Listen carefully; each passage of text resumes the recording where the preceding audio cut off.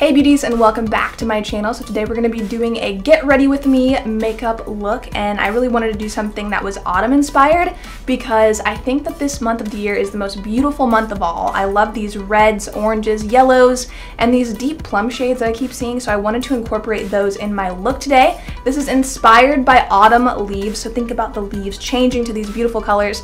That's what I wanted to incorporate in this makeup look and I used a lot of mattes on my eyes and I used a really pretty dark red warm lip that I think you guys would really like. If you do like the way my look turned out right now, then make sure that you like this video and subscribe if you haven't, and share this video with any friends that love fall makeup or autumn. I think that they would really enjoy this get ready with me talk through video. So this is gonna be super relaxed, and we're just gonna kind of chat and hang out today, and I'm gonna talk about some of these products. So if you guys would like to know how I got this autumn inspired makeup look, then just keep on watching.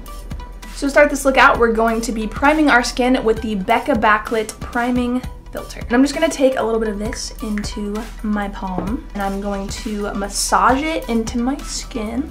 This primer will also really highlight your skin underneath your makeup and make you glow from within, which is why I really love it. It's also super hydrating and it just makes your skin look really, really good. So for foundation, I am using the Ofra Absolute Cover Foundation, and this is such a nice, really light foundation that's great for this time of year because it's very hydrating on the skin if you have drier skin. This is a really, really great foundation, and I'm using this on the Artis brush because it buffs it in amazing and I'll show you guys how good. So I'm just putting a little bit on the brush because a little does go a long way with this foundation. The thing that I really love about using this brush with foundation is how it gives you such a natural finish to your foundation. It's not cakey. I'm gonna take a little bit more of it and also blend it down my neck because I definitely don't want this to look like I'm wearing a mask. This brush basically does all of the work for you.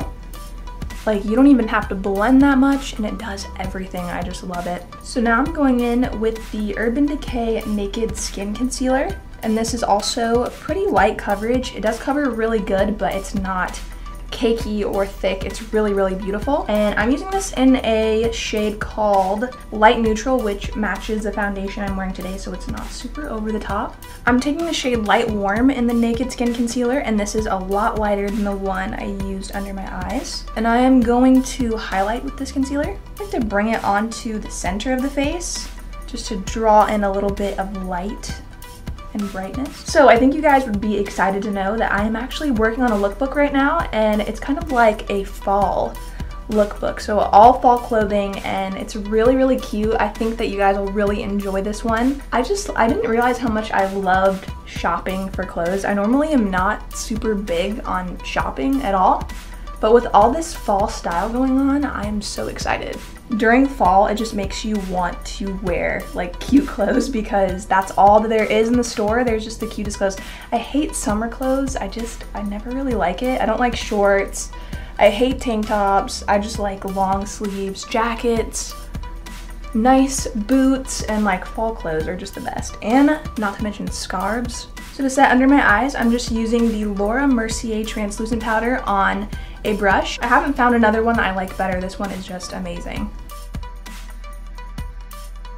I think this is so interesting. I've seen people take this powder on a fan brush and instead of like kind of um, like kind of packing it on, they just kind of dust it, which I think is really nice because if you don't want super powdery finishes when it comes to your foundation, this is like really nice. And I actually have been doing this and it gives you such a lighter coverage of powder. I did my uncle's wife's uh, makeup for her wedding this weekend and I actually used this technique and it gave her the most like flawless finish and I definitely wanted to try it on myself after because I wanted to go for a very natural finish on her makeup so I did this technique on her and it looked really really nice. Alright so for brows you guys already know I am obsessed with this pencil and all I like to do is basically just define the outer area of the brow and then I kind of go in and fill in and also the spoolie end of this brush it helps you comb the product through the brow which is really really nice. The cool thing about this pencil is when you get to the front of your brow you can actually start drawing in little hairs because it is so thin. So now I'm going to set them using the Ready Set Brow Gel which is a clear brow gel and it has a little comb on it, which is perfect for kind of feathering out your brows. All right, so now that we got our brows filled in, I'm gonna move on to the eyes and zoom you guys in so you guys can see this autumn eye look. So the first thing you're gonna wanna do is prime your lids with MAC Soft Ochre Paint Pot or a concealer because this is gonna help our eyeshadows stay on longer and last throughout the day. So next I'm going into the Morphe 350 matte and I am gonna take this orange shade right here at the top and I'm gonna blend this into the crease. And I am just gonna blend that orange right into the upper crease area because what we're gonna do is we are going to lightly and gradually blend from orange down into a deep berry red. Next you want to go in on a smaller brush and bring that color down into the lower lash line. Next I'm going to go in with this really dark reddish orange and I'm going to pop that onto the lid area. And I'm just taking that dark red and also bringing this down into the lower lash line, but I'm keeping it pretty tight. Another thing you could do while doing your eyeshadow like this, you will get some fallout. So if you take a little bit of powder and kind of pack it underneath your eyes, if you do get any fallout, you can just brush it off right after.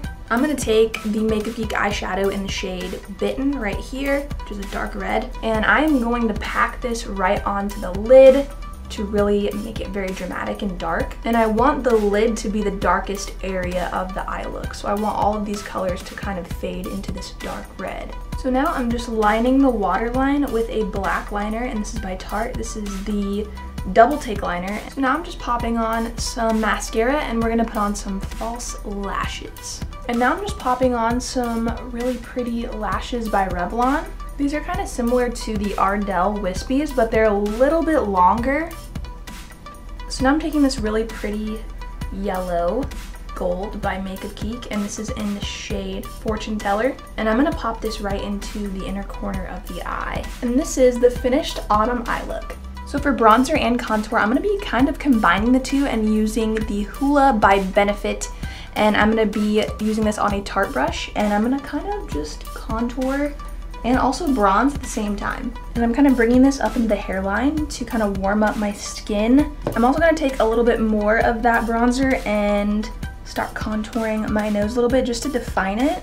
So because I wanted to keep this whole orange reddish color kind of going, I'm going to use the shade Summer Fling, which is by Makeup Geek, and this is a beautiful orange blush, and I'm just going to pop this onto the tops of the cheekbone area and kind of bring it forward onto the apples of my cheeks. And this gives like a really warm glow, very fall. For highlight today, I'm using the Makeup Forever Pro Fusion Highlight, and this is a number two. This is the gold one. They came out with two different ones, and I got both of them, but this one is perfect for this look. It's very, very gold and warm, so I'm gonna just go ahead and highlight a little bit with this. I'm not gonna go too over the top.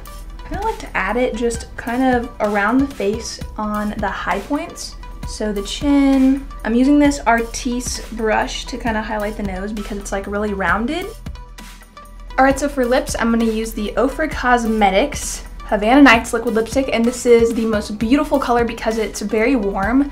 It's a red but it's still like a really warm color you could wear with eye looks like this and it's very very fall. To set my whole face I'm going to use the Urban Decay All Nighter Makeup Setting Spray and this is so long lasting. I love it and I go pretty crazy with it.